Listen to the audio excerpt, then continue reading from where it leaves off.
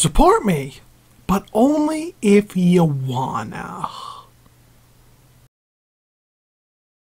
I played a lot of games this year, because that's just what I do now apparently. I'll explain it in the following video for movies and TV, but I fell behind in everything but gaming this year, so this is the biggest list I've got. We're gonna try and hodgepodge this, if that's alright with you.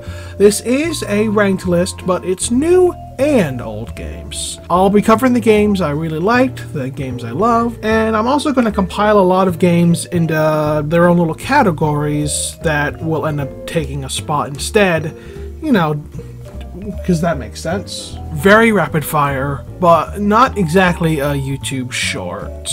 Let's get this out of the way. There are some games I did play this year that I never finished, and I'd rather put the games I did finish on my list. Now, out of those games, there's two that were such heavy hitters that I feel you're going to want me to talk about anyway. Baldur's Gate 3, I respect the most out of every CRPG I've ever played. And that's not just me trying to jump on the hype train of everybody else. I'm usually a lot more negative with CRPGs, even though I don't necessarily dislike those games. I don't like the genre very much, so it's just not my type of thing, and it feels like not my type of thing. There's a lot more I liked about Baldur's Gate 3, but it still, you know, pushed me up against the wall, which is why I have yet to finish it. I beat Act 1, and that's currently it. Then there's Starfield. And Bethesda RPGs are my type of genre, and I've never been more bored by a game.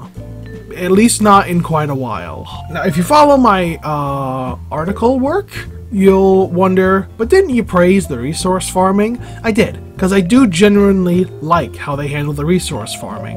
That feels like the most innovative thing they've done for Starfield. But the rest feels like a lot of steps back, and I was beyond bored. I don't care about the story. I don't care about the characters. I don't care about the combat. I kind of like the resource farming, but I don't even like resource farming that much in most other games. I've abandoned Starfield. A lot of me doubts I'll ever go back to it. Okay, now I also have to say there's a couple games I actually can't rank even though I did beat them. One is Immortals of Aveum. And if you're thinking it's because I got nothing to say about it, it's actually because I received that as a code uh, from work. I know I could still talk about it, but I don't know. Feels a little weird to do that. Cooking Mama Cookstar, I did for a video, so if you want my thoughts on Cooking Mama Cookstar, watch that video. Finally, we have Tunic, a little indie darling that, uh, I didn't get. And that's what I mean. It feels like I didn't get it. I feel like I missed something. I can't place my feelings on that game. I don't know if I think it's kind of mid, and I don't know if actually it is a masterpiece. I just need to get into the groove of it more. I don't know. I can't rank Tunic because of that, because I genuinely don't know what I feel about it. But hey, we got a bunch of games I do know how I feel about. Let's get into them. Do we count Ghostwire Tokyo as a 2023 game? I kind of do, and it's a tad underwhelming. The atmosphere is really good, and I honestly liked the Haunted School level missions, but I'm aware that those were added as free DLC for the update to, to, you know, the, the Xbox Series version. that was the closest bit to a horror experience that I was hoping for. The rest of the game is a bit too generic and, I don't know, almost feels like it plays it a little bit too safe. I like the concept a lot, enough to the point where I would be kind of interested in a sequel that would theoretically rub out a lot of these issues, because I know a lot more people besides me had those issues. The game's kind of mid, and that's a shame considering it looked really great a few years ago. Dead Island 1 is a terrible game, but somehow Dead Island 2 was solid. The combat was a lot more fun this time around, and the missions felt a lot more fleshed out, a lot less generic too. Now that said, Dead Island 2 is a lot wackier than Dead Island 1, and I grew to miss how bleak Dead Island 1 is. Dead Island 1 is like the plague dogs of zombie games, and I miss how refreshingly bleak and hopeless it was. In a theoretical Dead Island 1, I would want all those gameplay fixes, and I want that stronger mission structure, but I want it to be a miserable experience again in terms of story, because Dead Island 2 is a little bit too cheerful, if that makes any sense. A bit more of the bleakness came through the longer the story went on, but it still never matched how hopeless a situation Dead Island, Dead Island 1 was. And that made it the most unique aspect of that zombie game, so I do hope that comes back. So, like I said, some of these entries are categories. And the first category is PlayStation Plus Premium. I finally got a PS5 last year, and it made sense to instantly sign up for PlayStation Plus. And I went Premium because, you know, PS3 streaming, and yet that's a different thing to talk about. I get the bad rap PlayStation Plus gets when you compare it to Game Pass, but even the Nintendo Switch Online. That said, I enjoyed my time with PlayStation Plus Premium to the point where I signed back up for it. As for what I played, uh, a lot of licensed games, and that's not a joke. They're guilty pleasures of mine. I had tons of fun helping out Peppa Pig and Hotel Dracula. Unironically, the best of the licensed games I played was My Little Pony Maretime Bay Adventures. I had more fun with that than I did Spider-Man Miles Morales. You can play as a My Little Pony who gets roller skates at one point. Tell me that pony with the zoomies isn't better than Spider-Man. Dare tell me that. I played a couple of, play of PSP games, just two of them, so it was nice.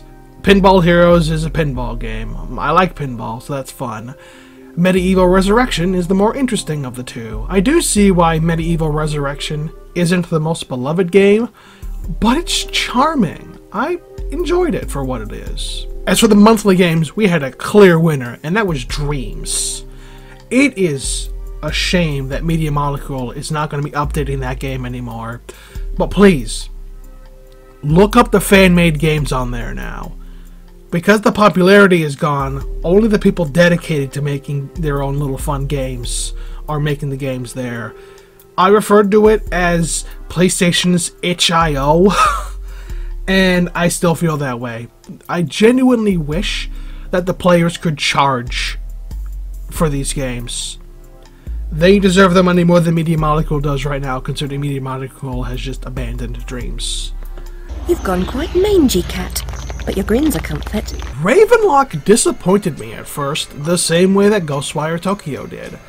I expected it to be a horror game, but this one is just more of a dark fantasy. Once I played more of it, it managed to win a lot more of my approval. I like the story and characters a lot. It's full of intrigue, full of tons of fun twists, and the combat is solid enough for what it is. I don't love the way the quests work, because the quests kind of just become fetch quests with checklists. You start one thing, and then it turns out you gotta finish all these other ones. But even that had a bit of a groove to it. I played it through Game Pass, which makes it easier to recommend. It's a quirky little indie game. I have grown to really like it. Cat, cat, cat, cat, cat. A castle full of cats is the right kind of game to play on the Switch.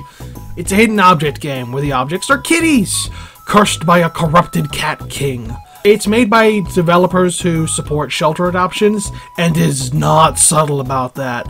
But that makes it all the more charming. This is apparently a franchise, and I've already downloaded an arcade full of cats on Steam.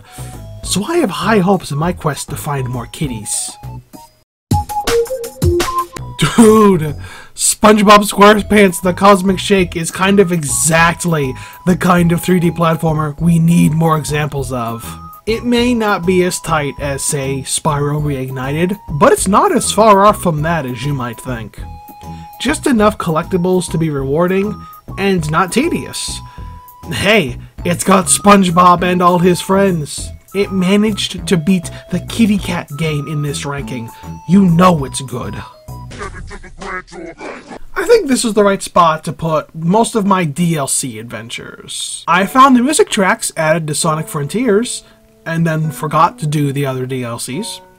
I replayed the DLCs for The Force Unleashed and Saints Row 4, Those were pretty fun. Hitman Patient Zero is the best part of Hitman 1.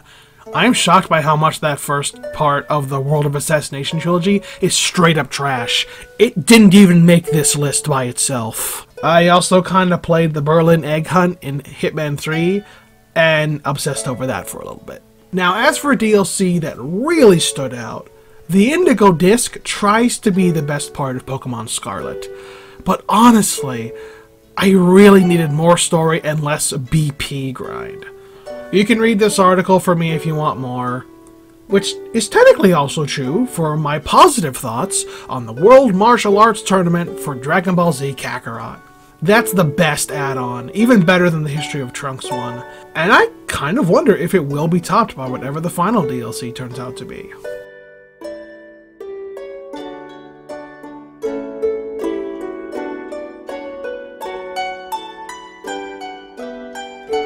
Have one more DLC adventure, but that one was so good it earned its own spot, so we'll talk about that later. You now have 15 seconds to comply.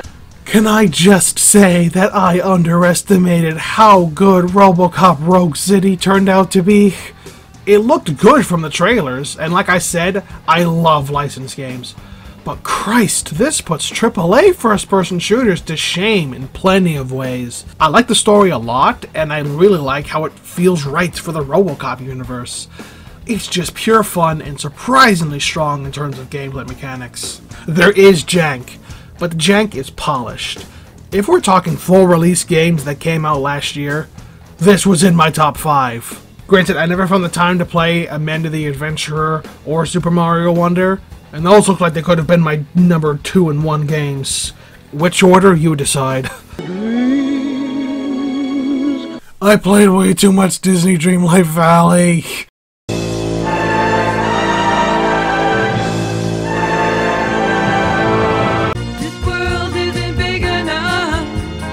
I've calmed down from Spider-Man 2 now, and I love it less but I still find it leagues better than Spider-Man 1 and Miles Morales. I'll be real, I never saw this amazing story everyone claimed the first game had. But I do quite like the story of Spider-Man 2. And I especially love all the tweaks to the gameplay. Gadgets feel better, swinging feels better, and they even added a slider that lets the swinging be a lot harder, like the original Spider-Man 2 in its risk-reward system. It's not exactly as great as that one, but I'll take it. You can even turn fall damage back on. I want Peter and Miles to worry about pancaking on the sidewalk. I miss that kind of thing. Well, and now we get to the obligatory pick. Y'all knew this was coming. Tears of the Kingdom is great.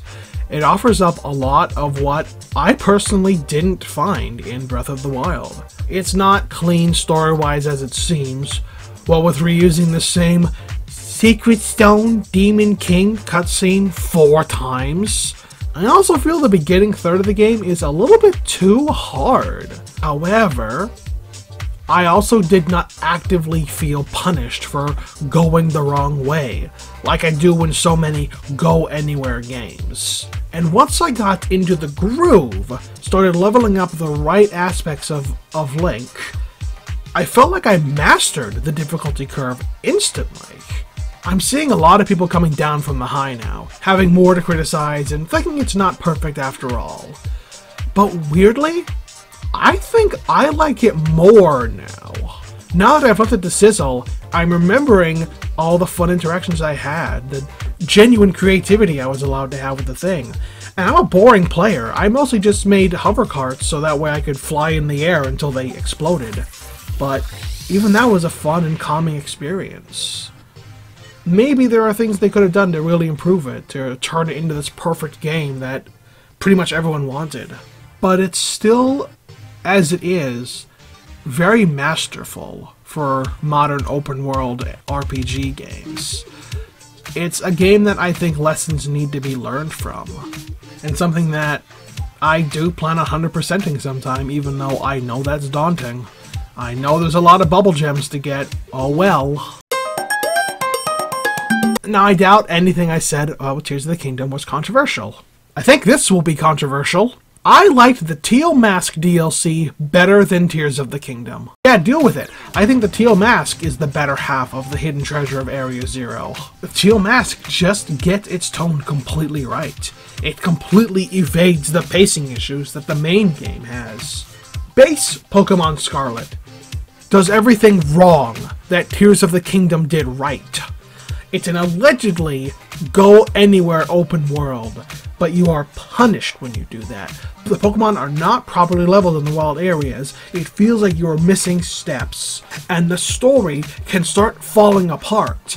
I enjoy some of the story of Pokemon Scarlet, like a lot of people do. I enjoy a lot of the characters in Pokemon Scarlet, like a lot of people do, but my experience was so shattered because when I wanted to help Arven, I wanted to help Arven, and then it turns out, no, why'd you want to go help Arven? You have to do Team Star or a badge now because the next bit is about 20 levels too high for you.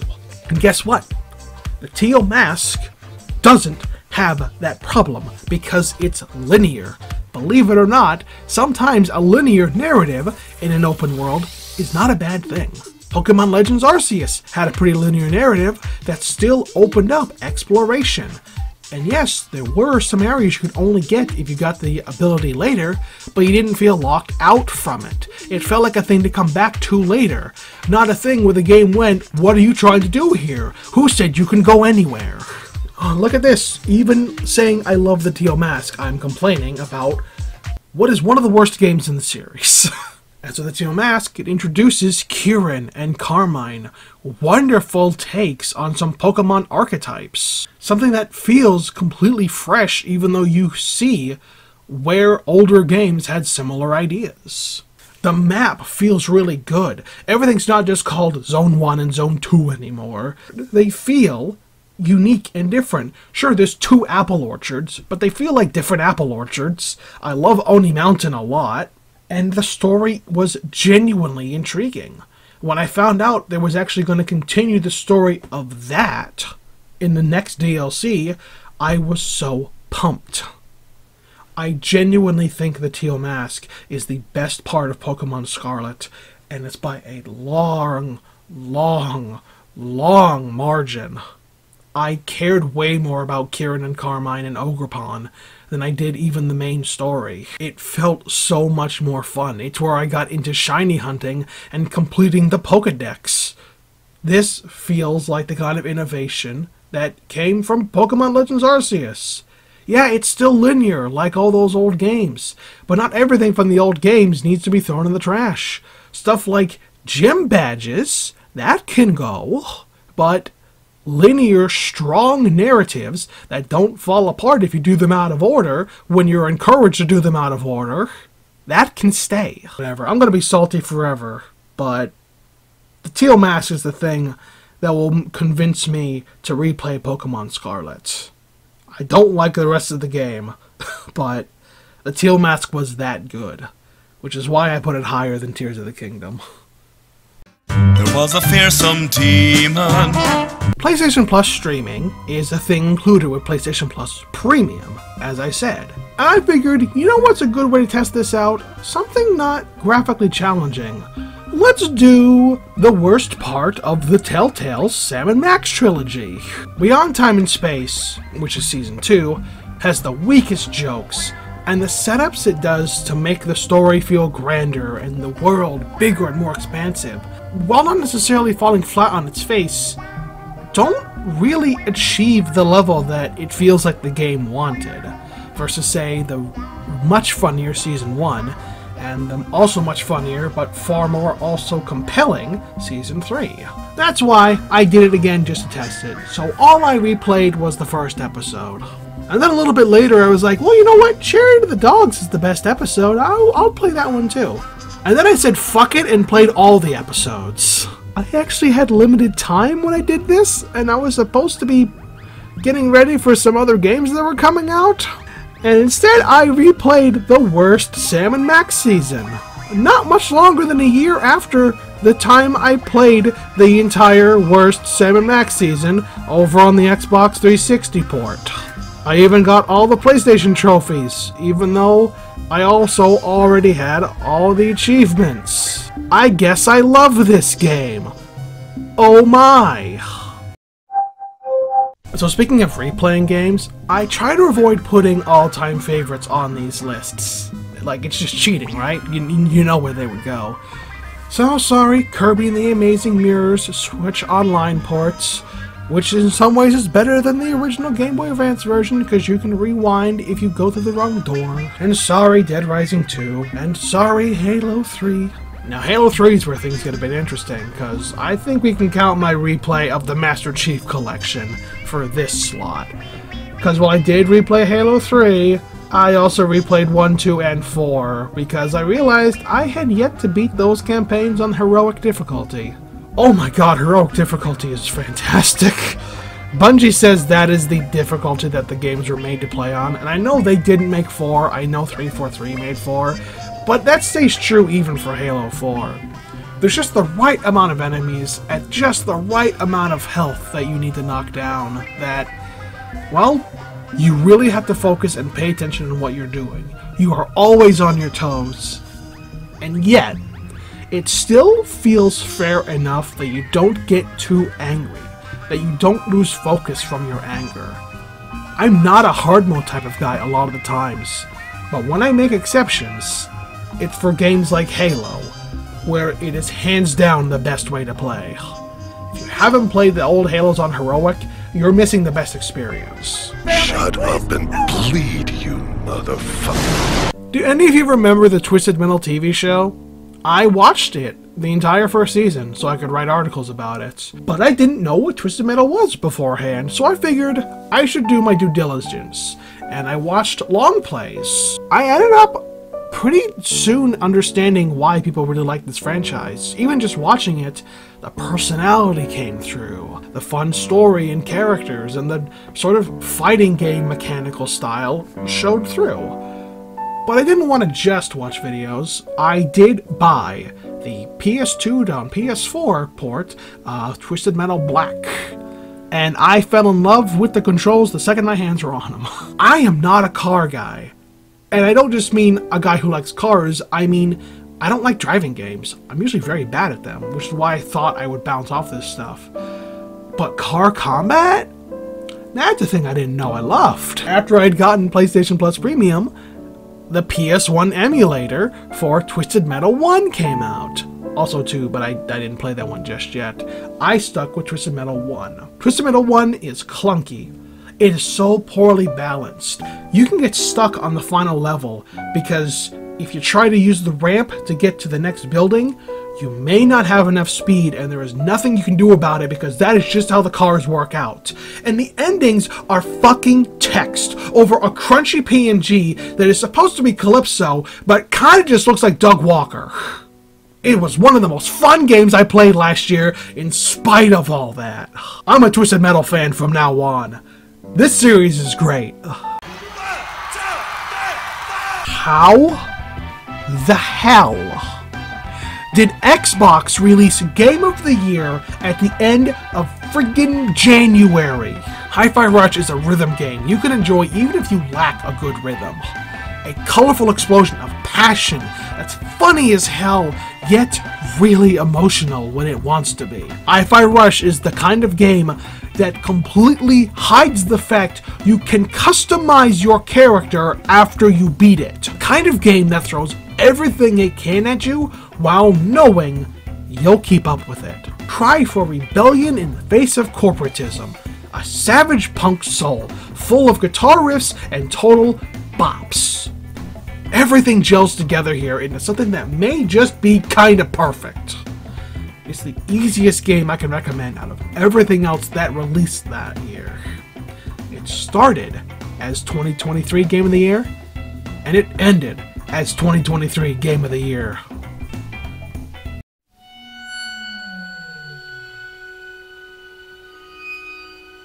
Fran Bow's console port was announced eons ago, it feels. But even after the wait, and even with 2023 being stacked with strong horror competition, Fran Bow comes out and beats everything yet again. Tears of the Kingdom wasn't perfect. The Teal Mask, Beyond Time and Space, Twisted Metal, Spider Man 2, they weren't perfect. Fran Bow, though. As much as it can be completely confusing, as much as the Tree People time puzzles require a friggin' walkthrough, fuck man, Fran Bow is one of those perfect little horror experiences. Something video games aren't usually interested in doing. I'll never fully comprehend the story in this game, and that's perfect. A game that knows I don't want every answer. A game that knows cheap death are cheap scares. I'll instantly shrug off. Fran Bow lingers. It demands you care about its main character and fear for her. The horrors that come when you dare to empathize with a bunch of pixels. Why aren't there more horror games as great as Fran Bow? Why can they rarely ever be as great as Fran Bow?